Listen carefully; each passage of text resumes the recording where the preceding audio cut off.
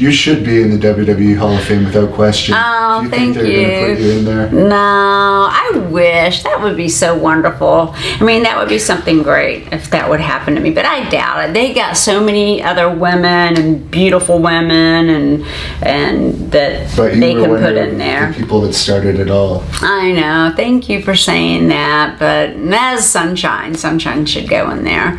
But um She wasn't as famous as you though. Oh yeah, well thank you. Yeah, I would love that. I would think that would be the cat's pajamas, and I wouldn't sell my ring if if I got a ring. Right, like uh, Abdullah, I guess, sold his ring. Yeah, a few people. have I think Tammy sold hers or put it up for sale Oh yeah, or I something. forgot to ask you about Yeah. her. What do you think of her? And You know, I, I when her and I hung out together, she's one of the most funniest people in the whole wide world.